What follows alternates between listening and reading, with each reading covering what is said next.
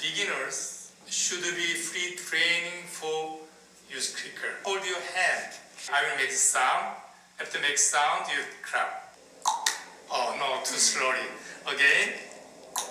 It's good. Yeah, this is timing. The same. After down the, your clicker, you shooting. If you very fast, you possible good shooting after down the clicker. This timing training is very important for after down the clicker. Coach will make the sound use the hand.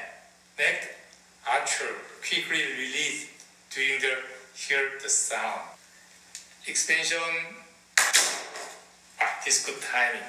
But before using clicker, there should be expansion. The arrow point have to move inside with open the body. Expansion inside shoot. This is good expansion. Prepare for use clicker. If we use this expansion after use clicker, you will be make the good expansion.